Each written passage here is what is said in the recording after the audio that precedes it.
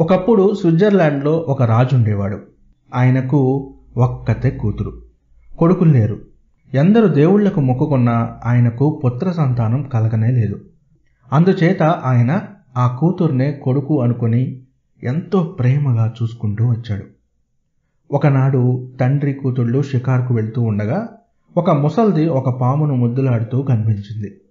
అది చూసి రాజు కూతురు చిచ్చి ఎంత అసహ్యం అంది.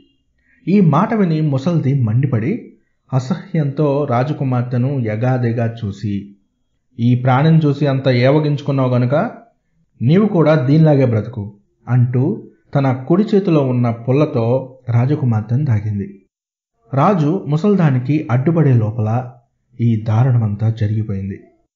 రాజకుమార్తె పాముగా మారి తల ఎత్తి తండ్రికేసి దీనంగా చూసింది.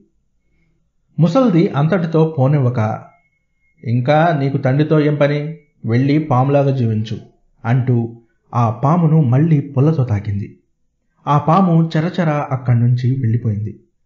అంతవరకు కొయ్యబారి చూస్తూ నిలబడిపోయిన రాజు ఆగ్రహంతో కత్తి దూసి ముసల్దాన్ని చంపబోయాడు. అది భయపడక చేతిలోని పుల్ల పైకెత్తి జాగ్రత్త నీ కూతురికి పట్టిన గతే నీకు కూడా పట్టగలదు అని బెదిరించింది. జుట్టు అందకపోయేసరికి రాజు కాళ్ళబేరానికి వచ్చి ముసల్దాన్ని కనికరించమని శతవిధాలా వేడుకున్నాడు. నాకు మంత్రాలు వేయటం చేతనవును కానీ మంత్రాలు విప్పడం చేత కాదు. నా చేతిలో ఉన్నదేంటంటే నీ కూతుర్ని నాగులకు రాణి చేయగలను. అప్పుడు ఆమె జీవితం ఒక్క పెసరు మెరుగ్గా ఉంటుంది. ఆమె కోసం ఒక బుల్లి కిరీటం చేయించి మూడు రోజుల తర్వాత ఇక్కడికే తీసుకువచ్చి నాకి.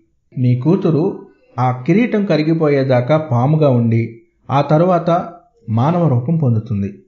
మేలిమి బంగారంతో కిరీటం చేయించు కల్తీ బంగారం నీటిలో ఎప్పటికీ కరగదు. అంది మంత్రాల ముసల్ది. రాజు అంటూ ఒక్క నిట్టూర్పు విడిచి ఇంటికి వెళ్ళి బుల్లి కిరీటం చేయించి తెచ్చి ముసల్దానికి ఇచ్చాడు. అది రాజకుమార్తెకు చేరింది. త్వరలోనే ఆ కిరీటం మహత్తు అందరికీ తెలిసిపోయింది. అది ఉన్న చోట లేమి ఉండదు. ధాన్యం గాజలో దాన్ని ఉంచితే గాజు నుంచి తరగకుండా ధాన్యం తీసుకోవచ్చు. డబ్బు మధ్య దాన్ని ఉంచితే ఆ డబ్బు తరగదు. అందుచేత ఆ కిరీటాన్ని ఎలాగైనా సంపాదించాలని చాలామంది ప్రయత్నించారు. ఒకనాడు ఒక పేద రైతు అరణ్యంలో ప్రయాణం చేసి వస్తూ ఉండగా దాహమై ఒక కొలంలో మంచినీరు తాగటానికి ఆగాడు. నీటిలో అతనికి ఒక పెద్ద పాము ఈదుతూ కనిపించింది. కొలను ఒడ్డున అతనికి ఒక బుల్లి కిరీటం దగదగ మెరుస్తూ కనిపించింది. అదే నాగ కిరీటమై ఉంటుందని ఊహించి ఆ రైతు దాన్ని తీసుకొని తన దారిన బయలుదేరాడు. త్వరలోనే ఆ పెద్ద పాము మరికొన్ని ఇతర పాములు తన వెంట పడటం గమనించి ఆ రైతు చప్పున సమీపంలో ఉన్న పెద్ద చెట్టు మీదకి ఎగబాకాడు. వాడు చెట్టు దిగి రావటానికి లేకుండా పాములు చెట్టు మొదట్లో బుసలు కొడుతూ అటూ ఇటూ కారాడాయి. ఇంతలో ఎవరో స్త్రీ అటుగా వచ్చి వాణ్ణి చూసి ఎందుకు చెట్టు ఎక్కావు బాబు? అని అడిగింది. వాడు జరిగిన సంగతంతా ఆ స్త్రీకి చెప్పి నిన్ను పాములు ఏమీ చేయకపోవటానికి కారణమేంటి? అని అడిగాడు. నాకు పాము మంత్రం వచ్చు. పాములు నన్నేమీ చేయు నాకు ఆ కిరీటం ఇస్తే ఈ పాములన్నీ పంపిస్తాను. నీ ప్రాణాలు కాపాడుకోవచ్చు అంది ఆ ఆడమనిషి. ఆ సంగతి తర్వాత చూద్దాం కానీ ముందు పాముల్ని పంపే అన్నాడు రైతు. ఆడది ఏదో మంత్రం చదివేసరికి పాములు తమ దారిన వెళ్ళిపోయాయి. తరువాత రైతు చెట్టు దిగి వచ్చి నేను సంసార భారం మోసేవాణ్ణి. నాకు ఈ కిరీటం చాలా ఉపకరిస్తుంది. కావలిస్తే నీవు కూడా నీ వాళ్ళతో వచ్చి నా ఇంటనే ఉండు. నీకే లోటు రాకుండా చూస్తాను. అన్నాడు. విధి లేక ఆ ఆడది ఒప్పుకుంది. ఆమె ఒంటరి మనిషి.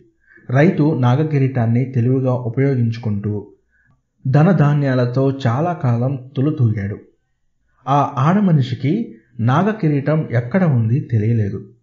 చివరకు ఆమె ఆ రహస్యం కనిపెట్టి రైతు ఇంట లేనప్పుడు దాన్ని తీసుకొని తన ఇంటికి పారిపోయింది.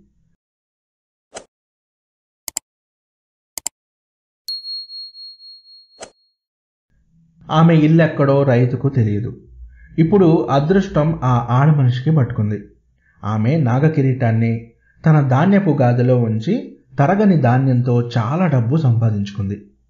కానీ ఒకనాడు ఆమె ధాన్యాన్ని పిండి మరకు పంపటంలో నాగకిరీటం కూడా ధాన్యంతో పాటు మరకు వెళ్ళిపోయింది.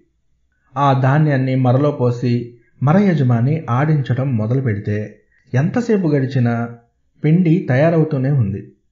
ఇందులో ఏదో విపరీతం ఉందనుకుని ధాన్యం మరలో వెతకగా నాగకిరీటం దొరికింది. మరునాడు దాన్ని తీసుకుపోయి తన గల్లాబెట్టిలో దాచాడు. ఇంతలో ఆడది వచ్చి తన నగ ధాన్యంతో పాటు మరకు వచ్చిందని తగువులాడింది. తనకేమీ తెలియదన్నాడు మరవాడు. ఆడది మరంతటా వెతికి నాగకిరీటం దొరక్క నిరాశ చెంది వెళ్ళిపోయింది. మరవాడికి ఒక గొప్ప ఆలోచన వచ్చింది. నాగకిరీటాన్ని ధాన్యపు అరలోనే ఉంచేస్తే కొద్ది ధాన్యాన్ని ఏళ్ళ తరబడి ఆడి అంతులేని పిండి పట్టి దాన్ని అమ్మి అంతులేని డబ్బు సంపాదించవచ్చు అని. కొంతకాలం పాటు మరవాడు ఇలాగే డబ్బు చేసుకున్నాడు. అయితే ఒకనాడు ప్రమాదం జరిగింది. నాగకిరీటం ధాన్యంతో పాటు తరగలి రాళ్ళ మధ్యకు పోయి పొడి పొడి అయిపోయింది. మరలో ధాన్యం కాస్త అడుగండే పిండి నిలిచిపోయింది. నాగకిరీటం నిర్మూలమైన క్షణంలోనే నాగరాణిగా జీవిస్తూ ఉండిన రాజకుమార్తెకు ఎప్పటి రూపం వచ్చేసింది. ఆమె తన తండ్రిని చేరుకుని తగిన వరుణ్ణి పెళ్ళాడి సుఖంగా ఉంది.